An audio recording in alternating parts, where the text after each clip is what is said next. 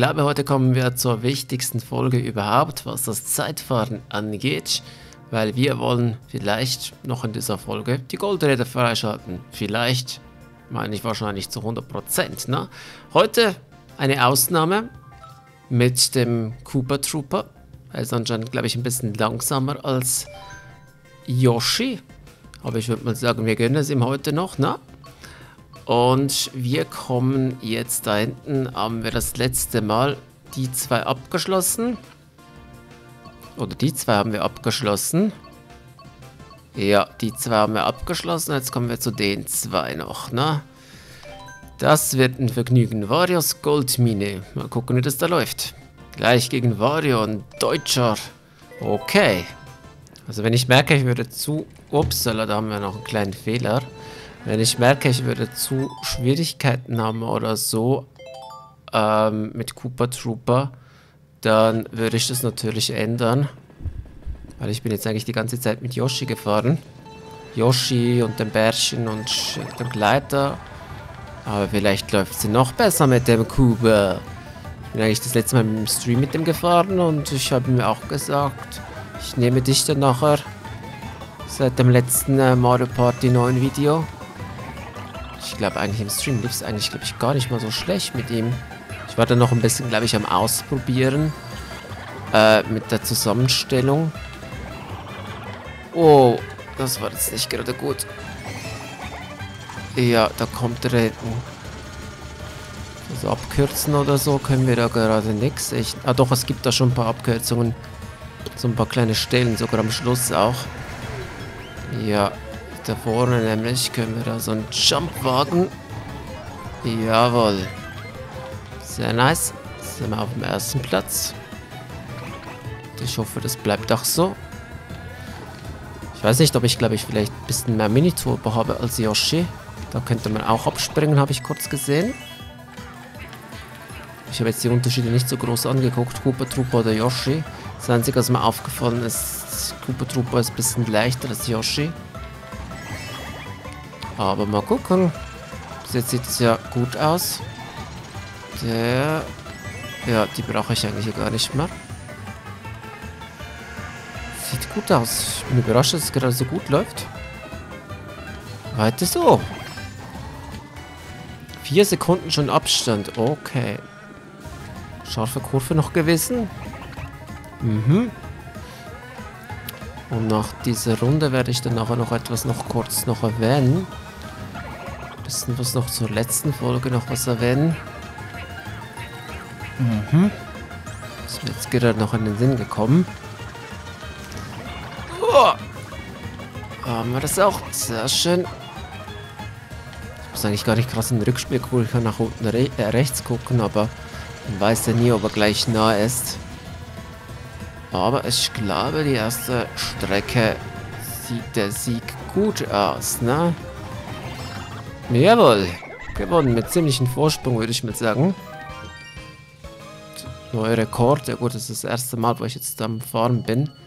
Nice. Schöner Abstand, über 6 Sekunden Vorsprung. Katzenpeach kommt. Das ist die Regenbogen Boulevard SNS. Die wurde eigentlich auch neu auf Deutsch übersetzt, weil SNS-Zeiten war Mario Kart, also Super Mario Kart heißt es eigentlich in Deutsch, war das Spiel auf Englisch noch zu spielen, auch die europäische Version. Ich meine, was soll man da groß übersetzen eigentlich? Später wurden die Strecken dann ein bisschen übersetzt. Schauen, ob ich den Sprung da vorne hinkriege. Ich hoffe es. Ja, sehr schön. Ja, das ist eigentlich nicht so eine lange Strecke. Aber was ich noch sagen wollte vorhin, na, Feedback zur letzten Folge. Erstmal noch ein großes Dankeschön an alle diejenigen, die sich kurz Zeit genommen haben, betreffend einem Vorschlag noch zu schreiben. Und ich habe auch gemerkt, es wurde vielleicht was Kleines ein bisschen missverstanden in Sachen neue Content-Ideen. Also einige haben es verstanden und einige haben es ein bisschen leicht missverstanden, aber das macht ja nichts, kann passieren. Darum auch noch kurz mein äh, Feedback dazu betreffend zu neuen Content-Ideen. Das habe ich natürlich schon auch. Das stand natürlich auch im Titel, aber ich hatte ein bisschen zu wenig Platz im Titel, um alles natürlich hinzuschreiben. Darum schreibt man meistens auch in den Titel was Kurzes hin und erklärt es dann auch, auch im Video. Und betreffend neuen Content-Ideen meinte ich eigentlich in Mario Kart 8 Deluxe. Und nicht irgendwo auf YouTube oder weiß nicht, äh, bei einem anderen Spiel oder so. Und ja, da kamen schon einige Ideen dazu. Oder sogar auch allgemeine Content-Ideen, was ich natürlich auch noch speziell gefunden habe. Aber es ging mir eigentlich ein bisschen auch um Mario Kart. Mal schauen, wie das hier aussieht. Ich werde nachher gleich noch was dazu sagen. Cool, 1,38. Uh, ist aber noch knapp geworden, ne? Polarkreis Parkour, Russland. Okay, Tanuki Mario. Was hat denn der da eigentlich? Okay, könnte nicht so schwierig sein. Okay. Ich könnte ja mal noch ein bisschen genauer auf eure Vorschläge darauf eingehen. Zum Beispiel den Vorschlag von Zockman. Ich habe ihn zwar auch schon zurückgeschrieben, aber vielleicht ist es ja besser, wenn ich das da auch klar ein bisschen stelle. Weil es geht um das Thema Mod. Mods sind eigentlich Modifikationen, wo man vornimmt mit einer gehackten Nintendo Switch. Und da gibt es auch zum Beispiel unterschiedliche Mods für jedes Spiel, nicht nur für Mario Kart, sondern auch für andere Switch-Spiele oder andere äh, Konsolen oder Plattformen von Nintendo.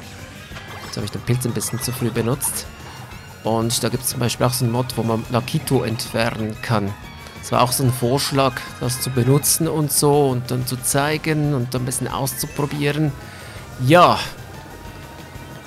Nintendo aber ist nicht so begeistert von solchen Sachen. Also ich kläre das jetzt einfach in diesem Video und ich muss auch sagen, äh, so etwas auf YouTube zu bringen, ein Spiel zu verändern. Ich weiß, einige denken vielleicht, ja gut, andere machen das ja auch so.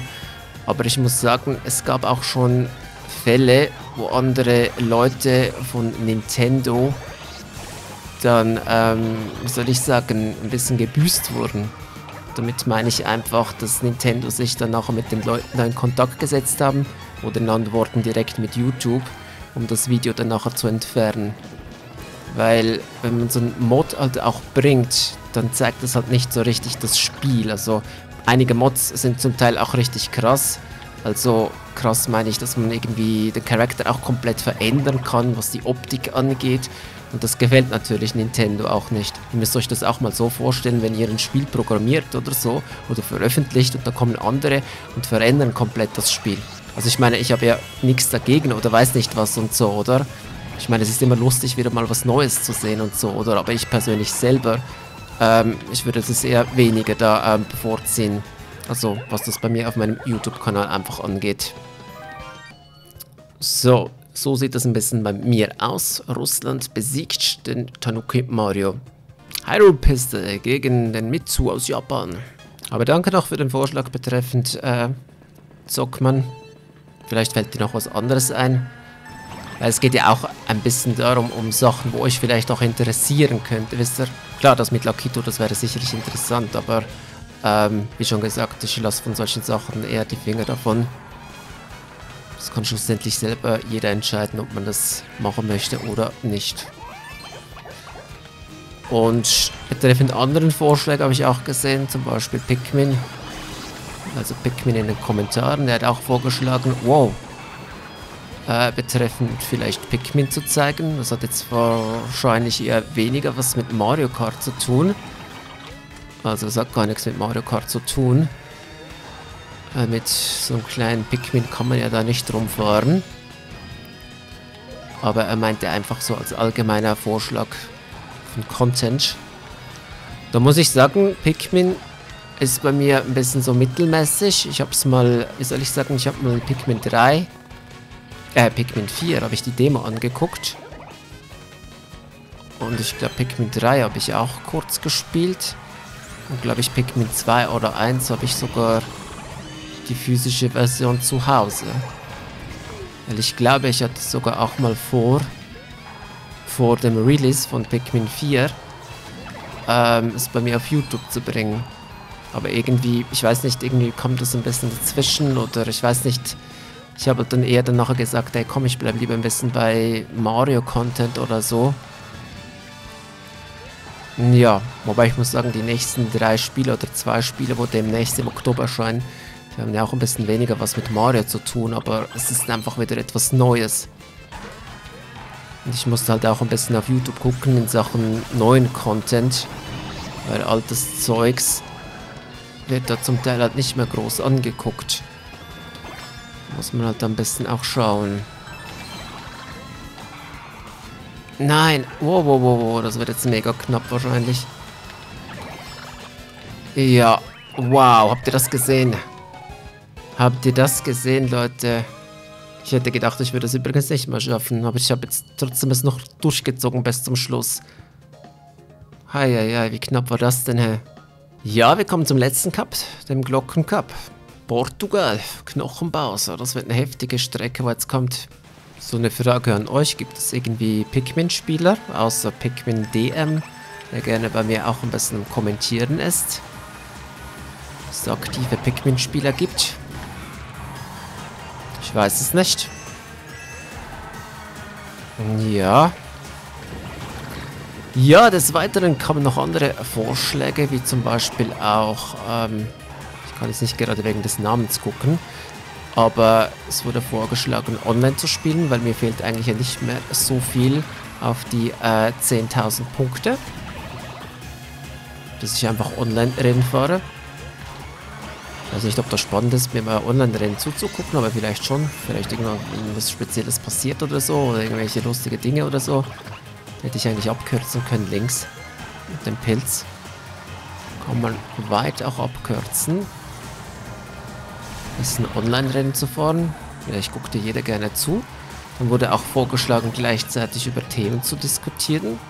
Und ja, muss man sich natürlich auch ein bisschen was überlegen, was, über was man gerne diskutieren möchte. Kann man natürlich alles auch.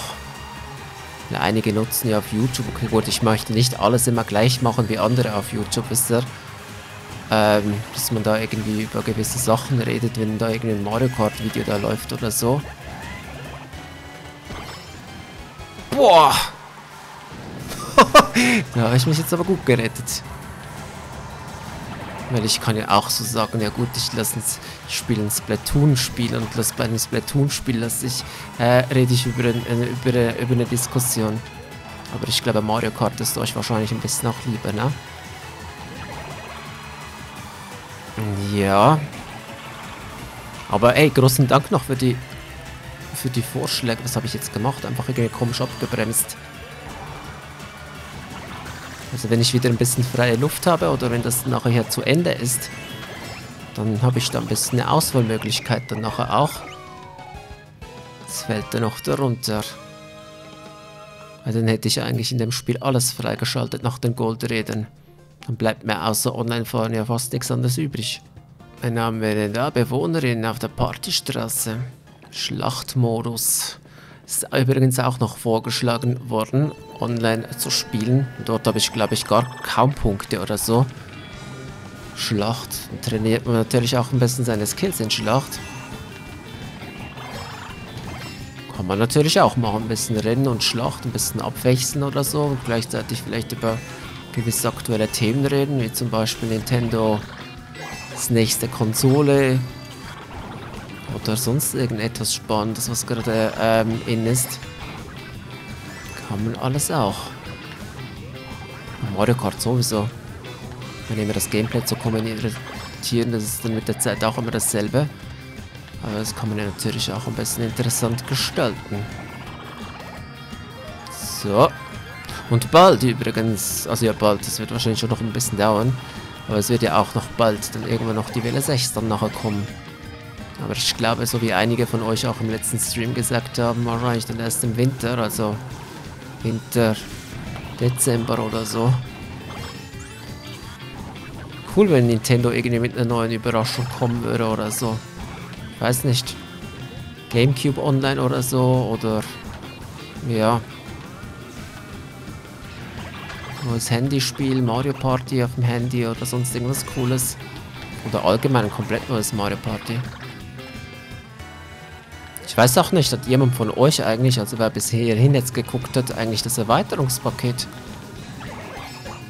wisst ihr, wenn ich gerade so euch frage, dann bekomme ich vielleicht noch ein bisschen besseres Ergebnis. Wieder, dass ich im Community-Tab frage. Weil Im Community-Tab kann es auch sein, dass gewisse Leute dort äh, abstimmen. Da kann man übrigens auch rechts abkürzen, aber ich kürze jetzt extra nicht recht, rechts ab. Weil ich da noch ein bisschen unsicher bin mit der Abkürzung. Weil im Community-Tab, ähm, ja, da gibt es auch nicht nur Abonnenten, wo dort irgendwie zuschauen oder äh, abstimmen. Und darum nimmt es mich halt auch von den Abonnenten, wo jetzt hier gerade auch zuschauen, Wunder.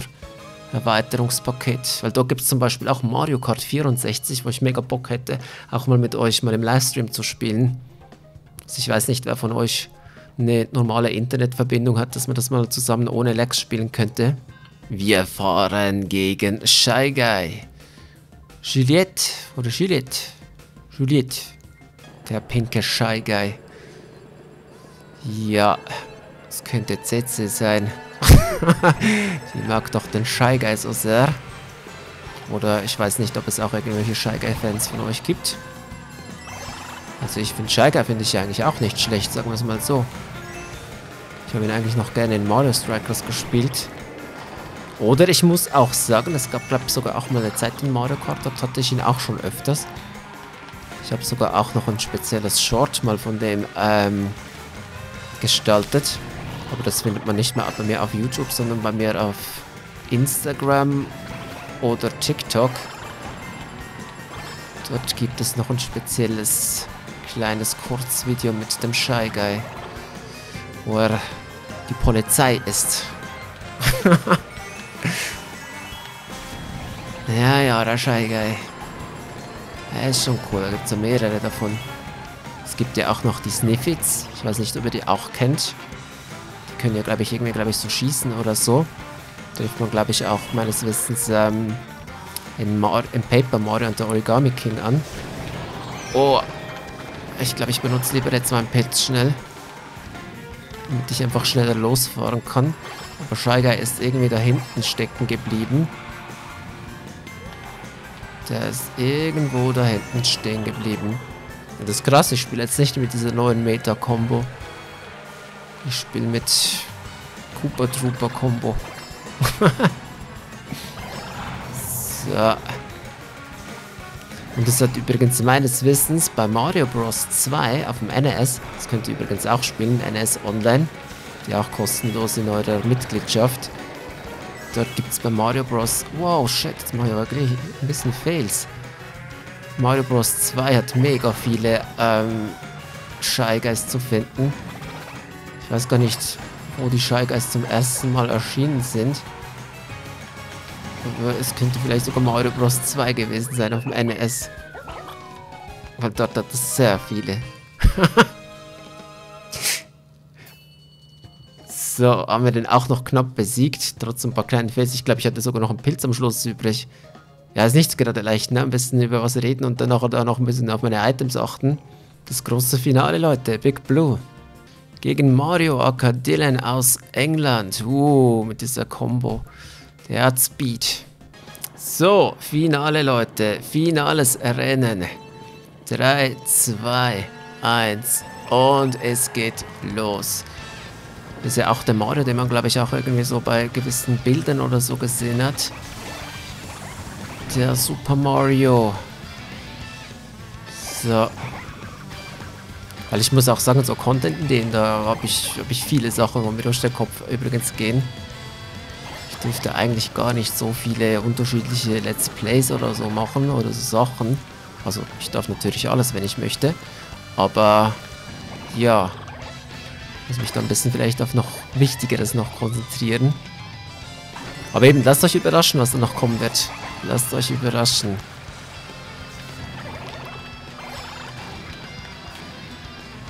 Ja, da kürzen wir mal ab. Der geht schon ziemlich gerade ab. Ich hoffe, ich besiege den. Ich komme gerade ziemlich langsam vor. Ja, das Duell gegen den Nintendo Entwicklergeist. Hey, wenn ich den besiege, dann müsste ich die Goldreifen bekommen. Bekommen. Aber der flitzt mir richtig schnell ab. Boah. Ja. Ich hoffe, ich kann den da noch irgendwie aufholen. Der hat schon ziemlich Gas gegeben. Jetzt habe ich auch volle Punktzahl an Münzen. Komm schon, das ist der letzte Geist. Der letzte Geist. Der letzte Geist. Ah, oh, ist da unten durchgegangen. Ja, da kann man ja auch irgendwie ein bisschen abkürzen. Wer ist der Erste? Oh! Ja. Ich es da lieb... Nein! Nein! Oh mein Gott! Ich habe ihn noch besiegt. Was war denn das für ein spannendes Rennen? Wow. Ja, 1,37, 2,8 3,16. Krass. Hättet ihr das gedacht? also da gab es schon ein paar spannende Ränder runter. Coole. Wow. So, und jetzt gibt es die Belohnung. Machen wir beenden mal.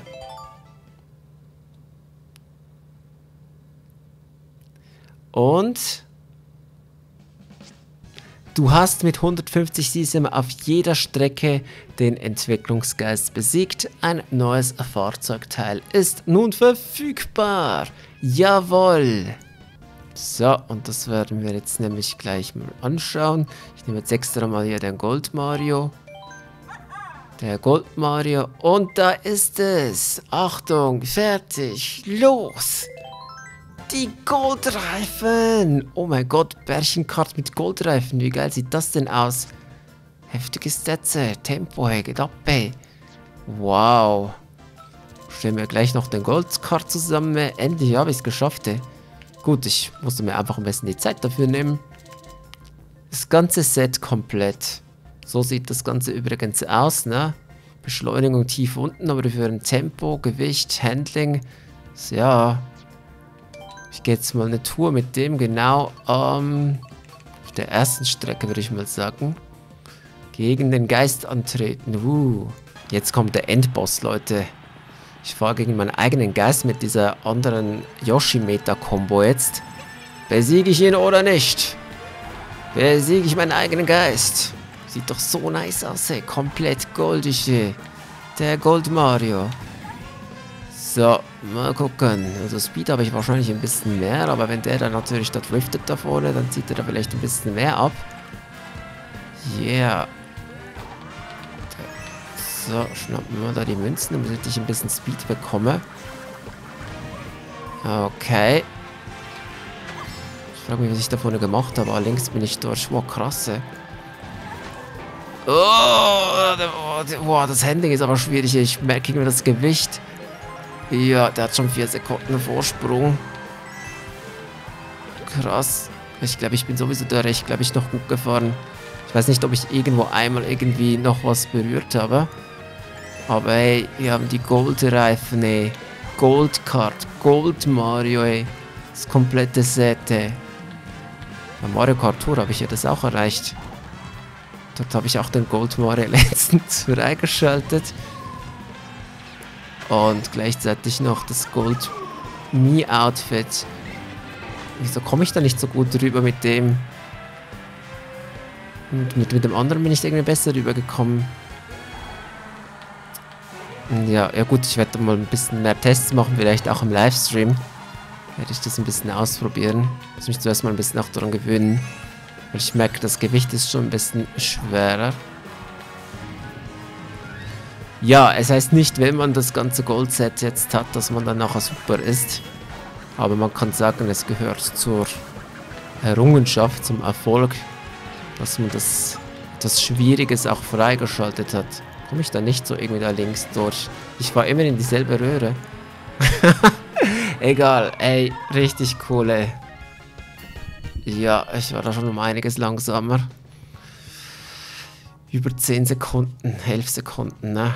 Cool, aber immerhin haben wir es. Und das geht es ja natürlich auch. Und das Coole ist, man kann sogar auch die Highlights angucken nach einem Zeitfahren. Ich weiß nicht, ob man noch eine andere Perspektive jetzt sieht. Oder einfach ganz normal, aber ich glaube, das sieht mehr nach normal aus. Einfach komplett freies Overlay da, also dass man eigentlich gar nichts irgendwie noch sieht, Anzahl Münzen oder so. Zeitlupe kann man da auch mit dem rechten Stick ein bisschen verlangsamen.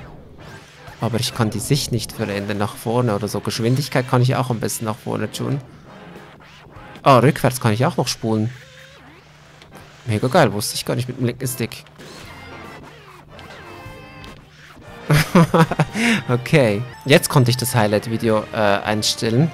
Weil jetzt sieht man es von einer anderen Perspektive. Das ist so wie Nintendo manchmal so Trailer auch erstellt. Kann man das so einstellen, dass man nur die Action-Momente sieht oder nur die Drift-Sachen. Ich habe es jetzt mal einfach auf Drift eingestellt, weil man da ein bisschen mehr Drift auch sieht. Richtig nice. cool. Hey, dann bedanke ich mich hier fürs Zuschauen. Er freut sich da nicht so, er hat ja den anderen Geist nicht geschlagen. Aber nichtsdestotrotz, bis zum nächsten Mal und tschüss zusammen.